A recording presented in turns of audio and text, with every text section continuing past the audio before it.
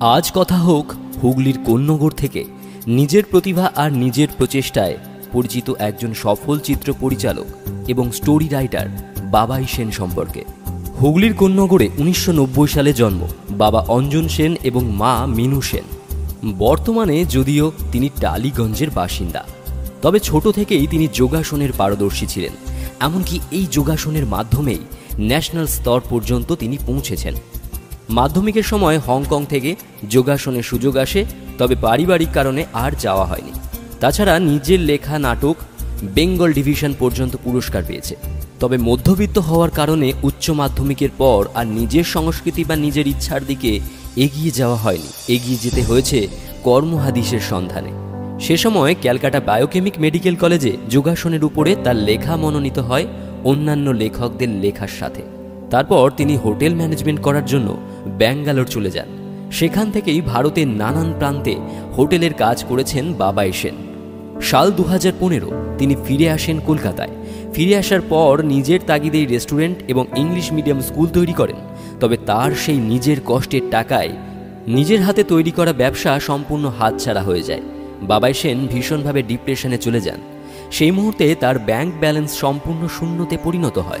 সমস্ত জায়গায় ঋণে জর্জরিত হয়ে যায় আর প্রত্যেকটি মানুষের কাছে লাঞ্ছনা শুনতে হয়। নিজের পরিবার ছাড়া সমস্ত আত্মীয় স্বজন, বন্ধু বান্ধব তাদের থেকে মুখ ফিরিয়ে নেয়। সে সময় তিনি অবসাদগ্রস্ত হয়ে নিজের জীবন শেষ করে দেওয়া পর্যন্ত চিন্তাভাবনা শুরু করেন। ঠিক সে সময়ই তার পরিবার, বিশেষ করে মা এবং বোন, তার মনের শক্তি যোগায়। তারপর দাদা সম বন্ধু কৌশিক মণ্ডলের তত্ত্বাবধানে বাবাই সেনের কলকাতায় চলে আসা। কলকাতায় এসে বেশ কিছু গুণী ব্যক্তিদের যোগ ব্যায়াম শেখাতে শুরু করেন বাবাই সেন।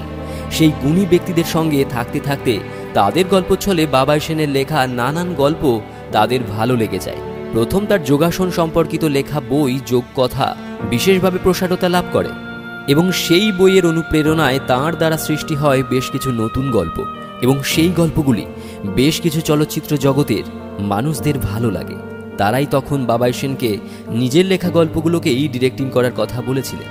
দু হাজার উনিশ সালে কৌশিক মণ্ডলের সহযোগিতায় বাবাই সেন পরিচালিত প্রথম চলচ্চিত্র ব্রুটা নামক সিনেমাটি প্রকাশিত হয়, যা কিনা এখনও পর্যন্ত তেরোটি অ্যাওয়ার্ডে সম্মানিত হয়েছে।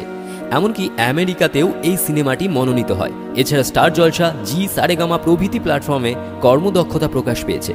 আগামী দিনে তার হাত ধরে একটি ফিচার মুভি এবং তিনটি ওয়েব সিরিজ প্রকাশিত হতে চলেছে। আর তার যাত্রাপথের সৃষ্টি হিসেবে তাদের দ্বারা নির্মিত প্রোডাকশন হাউস পেহেচান। তারা এই প্রতিষ্ঠানে যাদের সত্যি প্রতিভা আছে, তাদেরকে তুলে ধরার চেষ্টা করেন সর্বদা। তারা সর্বদা খুঁজে চলেছে নতুন প্রতিভার খোঁজ। পেহেচান এর মাধ্যমে তারা আগামী প্রজন্মকে নানান দিক থেকে সকলের সামনে তুলে ধরার চেষ্টা করেছেন বর্তমানে বাবাই সেন পরিচালিত বারোটি প্রজেক্ট সার্থকতা লাভ করেছে। বর্তমানে তার কাজের দক্ষতার কারণে নেট দুনিয়াতেও তার নাম সার্চ করলে সবার প্রথমেই চলে আসে। তার অবসাদগ্রস্ত জীবন থেকে ফিরে আসতে যে মানুষগুলো তার পাশে থেকেছে, তারা হলেন তার মা, বোন এবং কৌশিক মণ্ডল। শম্ভু দাস, প্রীতম সেনগুপ্ত, সকলের পাশাপাশি মনের অনুপ্রেরণার জন্য যে সব সময় সর্বদা পাশে দাঁড়িয়েছেন, পাশে থেকেছেন, তিনি হলেন সুস্মিতা অধিকারী। তাই তিনি এই মানুষগুলোকে সর্বদা জীবনের পরম বন্ধু বলেই মনে করেন।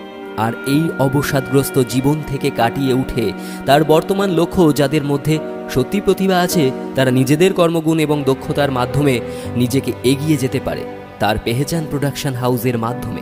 এবং তিনি মনে করেন, সে নিজে যখন তার সমস্ত বাধা বিপত্তি কাটিয়ে নিজেকে প্রতিষ্ঠিত জায়গায় স্থান করে নিতে পারছেন, বাকিরাও চেষ্টার পরিশ্রমের মাধ্যমে তা অর্জন করতে পারবে।